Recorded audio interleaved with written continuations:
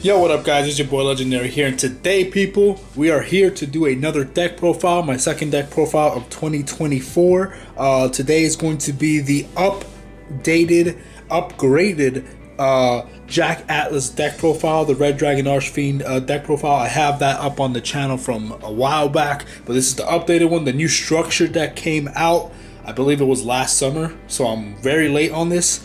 Uh, and now I'm finally here to uh, showcase the new support in Jack's deck. So I'm going to show you uh, the build and everything. So I'm really hyped up for this. The King is here. I wanted to have a new duel mat for this, but um, there were some other ones I needed to buy, and you know I need to be um, careful with how much money I'm spending on these things. So I decided to uh, not get a new mat for Jack Atlas just yet. I'll get another one, a nice, crisper new picture, new monsters placed and everything. I'll get that all done later. But anyway, we're gonna hop right into the deck profile. Let's see what upgrades the King Jack Atlas has gotten here. Alright, so first up, we're to go with the tuners. I'm to start with the level 3 tuners. Uh, we got the original Dark Resonator, obviously. We have Clock Resonator uh, Dark Resonator 2.0. Then we have Creation Resonator. Next, we have the new support card Soul Resonator. This card is incredible. It's an amazing starter. It allows you to search a level 4 lower fiend from your deck. Uh, and summon it, which will allow you to search for the new Bone Archfiend, which we'll get into later. And and with this card, with that that other card, uh, Bone Archfiend, is basically a one card uh, Red Dragon Archfiend right away. So it's it's incredible. This card is good, and it allows you to also, I believe, search a Red Dragon Archfiend spell or trap card. Actually, no, I was wrong about that. That's actually the, the, the other new Resonator support card. We'll get into that in a second. But this card gives a, I believe, protection uh, for the Red Dragon Archfiend uh, monsters and his evolutions as well. So that's really good. It's awesome right there. Then we have uh, the old classic Crimson Resonator. Still an incredibly amazing card. You draw this in any level 4 and you instantly have Red Rising and then go into... Uh, you could actually go into Red Dragon Archfiend or Red Nova Dragon.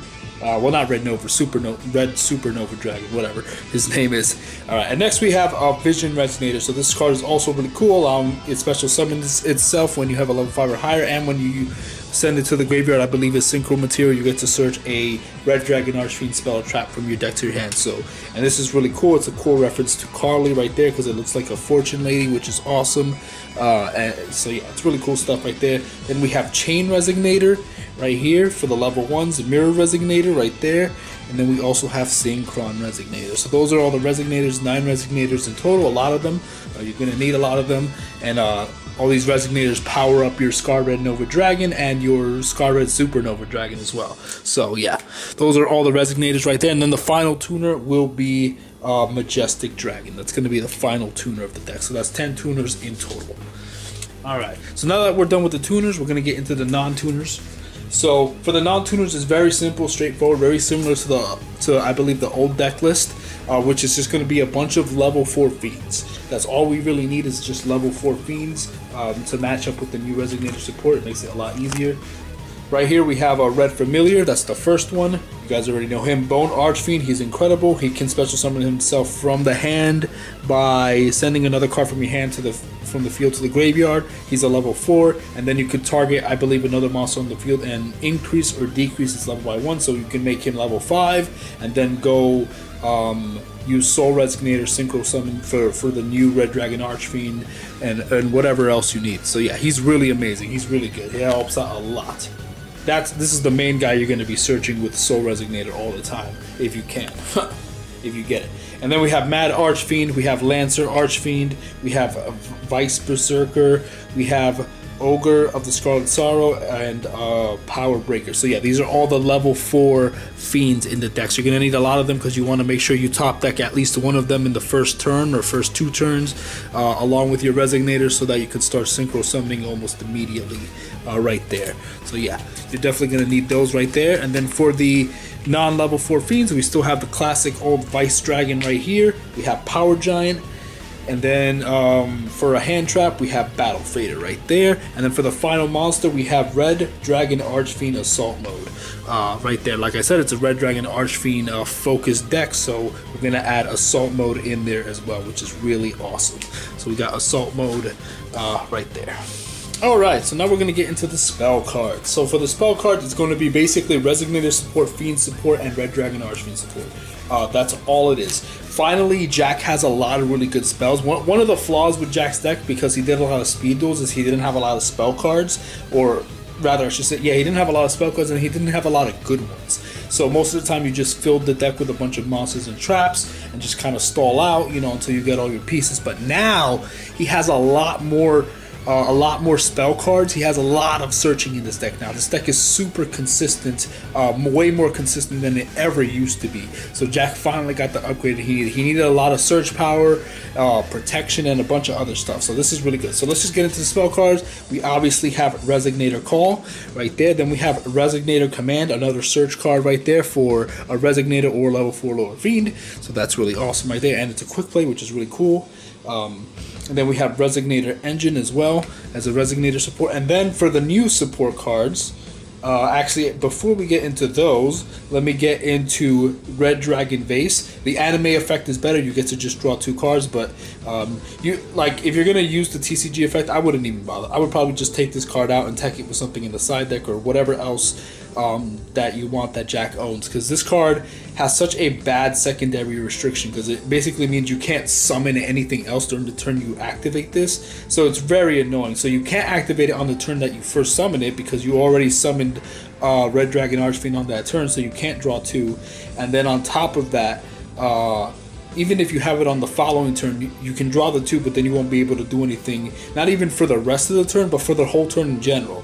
So this card has so many restrictions for no reason. It makes no sense. Red Dragon Archfiend is not even good. They should have made his Pot of Greed a lot better than that. Just take away the restriction, honestly. Just draw two if you uh, control Red Dragon Archfiend, and then make it a, a, hard once per turn. That's all they had to do. But yeah, they, they completely destroyed that. And then we have Scarlet Security to destroy back row if you control your ace.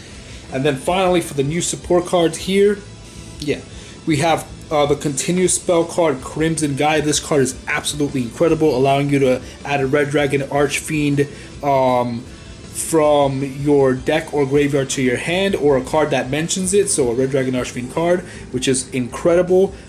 And then also this really helps out your Red Dragon Archfiend activate his effect because when your Red Dragon Archfiend attacks, uh, it can switch all your opponent's monsters to defense position. Oh, Sorry about that. Yeah, it can switch all your opponent's monsters to defense position, which will trigger Red Dragon Archfiend's effects to destroy all defense position monsters. This is incredible. This is exactly what I wanted for Jack. A card that helps you activate the effects of Red Dragon Archfiend because most of the time you're not facing any defense position monsters.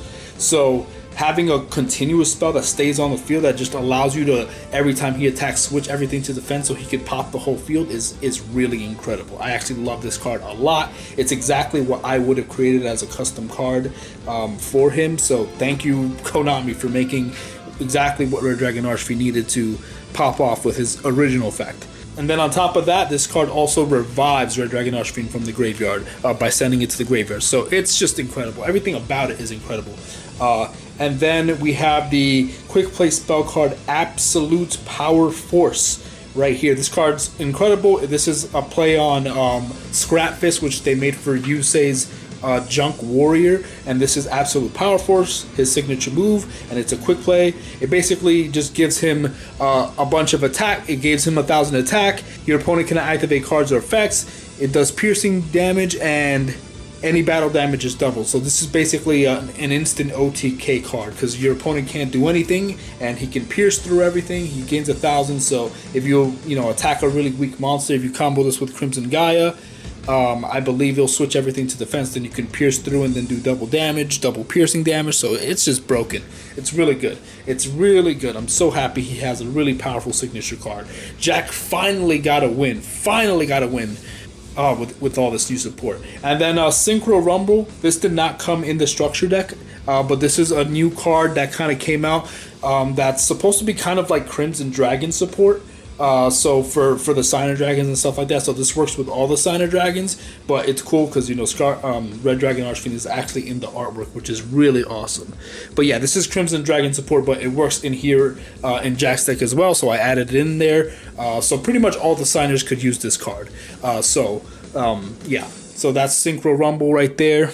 This basically allows you to revive one of your signer dragons from the graveyard and then also gives them protection on the field as well. So that's really cool. So then we have uh, the quick play spell card Burning Soul. So this is actually technically a manga card. This was used in the manga, but what's interesting about this card is that it's a manga card that's a reference to the anime. So this is actually a reference to uh, the the lore of of the not not the Lord of the Crimson Dragon himself, but uh, Jack's past life. So this is an anime reference uh, to his burning soul power that Jack has. Uh, this is his ancient ancestor and whatnot. So this is a manga card that has an anime reference, so it's kind of like in between both. So if you don't want to add it, that's perfectly fine. I added it. It's called Burning Soul.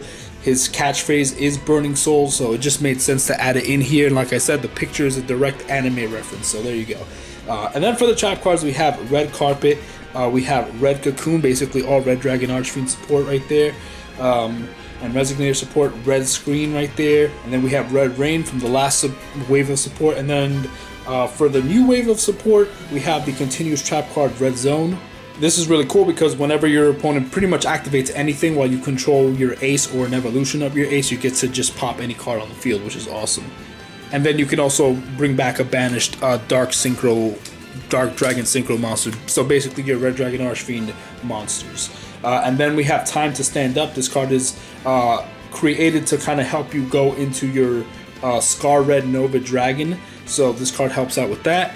Um, then we have Assault Mode Activate for Assault Mode. Then we have Fiendish Golem. This card is really cool because it allows you to uh, not only banish a monster with 2000 or more attack, but then allows you to set Fiendish Chain directly from your deck to the field. So you basically get kind of two negates or two stops, which is really awesome combination. So yeah, Fiendish Chain is the other card, and then the final trap is Powerful Rebirth.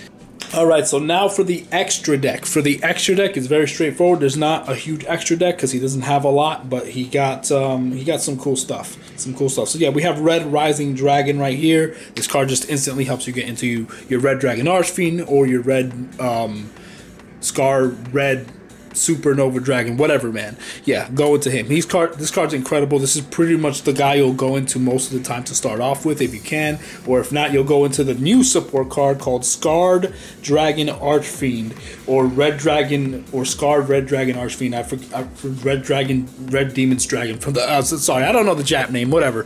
Uh, but either way, we got this here. This this is just Red Dragon Archfiend uh, with like the power of the Crimson Dragon around it, which is really cool. This card's also just incredible incredible. This card basically just says when it's sent to the graveyard. Uh, so it could be through synchro material or if it's just destroyed, if it's just sent to the graveyard, you can bring out uh, the original Red Dragon Archfiend right here, bring it out from your extra deck onto the field and then just destroy all attack position monsters your opponent controls. So that's just crazy. You just get to bring out your ace and then pop everything. So this also works, like I said, if you use it as synchro material. So you could synchro summon this and then go for your uh, uh, use this synchro material for, let's say, your Scar Red Nova Dragon or your Red Nova Dragon, whatever, uh, and then you bring out your Red Nova Dragon and then pop all attack position monsters your opponent controls. So that's good. It clears the board and it summons your ace onto the field, which is incredible. So yeah, I love this card. It's so good. I, it's exactly what Jack needed. Some just some power and aggression. He needed power and aggression. And you know his original Red Dragon Archfiend, this guy right here, just doesn't do a lot. So now with the Crimson Gaia and with this Synchro monster, now this now his ace can actually just like pop off and do stuff, which is incredible. And then we have Majestic Red Dragon, we have Red Nova Dragon, we have Red Super Nova Dragon right here. Very nice. This card is actually uh, very strong, very busted, very good. Has a lot of attack power. Uh, he just does a lot of great stuff. And then we have Exploder Dragon Wing, we have Chaos King Archfiend, and Crimson Blader. And those are all the synchro monsters for his deck. Alright, so now for the side deck, I'm going to go through it quick. The side deck doesn't kind of matter all that too much. The main deck is already really solid, but if you want a side deck, here you go. We got Flare Resonator, we got Force Resonator, we got Barrier Resonator, we got Red Nova right there. Uh, we have Power Invader. We have uh, Twin Sword Marauder, and we have Dark Bug. And that's that's it for the monsters. And then for the spells, we have uh, Resonant Destruction, another Resonator support. We have Double Summon. We have Desynchro, uh, Crimson Fire, the counter trap. We have Descending Lost Star, Synchro Deflector, Shadow Spell, and Half for Nothing. So you guys can play around. You could also add whatever, whatever other jack spells or traps or monsters that you want to add to the side deck is irrelevant right there. The main deck is already really solid so you don't really need to worry about anything. You can mess around with the ratios however you want don't worry about it. Do whatever you want uh, just have fun with it. But yeah that is jack atlas's deck right there. We have everyone's king. I got the jack token right there. Looking crisp. There you go he is a human with 3000 attack, 2500 defense, the stats of Red Dragon Archfiend. A foolish king once forsook his land and friends, but his scarred soul was saved by a compassionate heart. He who has determined to live his own destiny shall save the world and become the true king, giver of happiness and loved by all. So, a beautiful, beautiful quote by King the Jack, surrounded by children who love him and adore him um, and whatnot. So yeah, we have the king right there, the king Jack Atlas. So that is the updated uh, deck profile for you guys. I hope you guys enjoyed um, watching that. Test out the deck. It's a lot of fun. It's a lot stronger. He can actually compete with Yusei now, even with some of the new support. Uh, according to Robbie, he's tested these out, and uh, now he could actually fight against Yusei and possibly hold his own and even win against him because this new support um, was incredible. The, the, the old support he got was decent, but this support just shot it through the moon. It, it was incredible, and it made his deck so much more consistent, faster, more aggressive, more defensive. Um, and and more consistent in every way. So yeah, the new support's incredible. Great job, Konami. Um, I love it so much. It was it was incredible support. So this is Jack Atlas's um, Red Dragon Archfiend Turbo anime deck. Uh, this is TCG, so there's no anime cards in here at all so you can build this in real life. You can build this in master duel. Once we get the cards you can build this in dueling book um, and, and whatnot. So you can do whatever you want. You can go into the link in the description as well and i will have a link in the description that uh, has this exact deck um, that you can download into a Dueling Book. So if you want to test it out in Dueling Book, the exact same way it's built, uh, I will have the link in the description for you guys to download and test it out. But anyway, I'm done, guys. God bless you guys. I will see you guys in the next deck profile. M many deck profiles coming very soon. I got Yubel, I got Nash, I got you know Yugi Muto GX, I got Kaiba GX, I got um, uh, Blue Maiden, Blue Angel. I have a bunch of stuff coming up. I'm working on a lot of cool stuff, but I'm excited to show you guys this deck. I love you guys. God bless you guys. I will see you guys in the next video. Gotcha. Peace. See ya.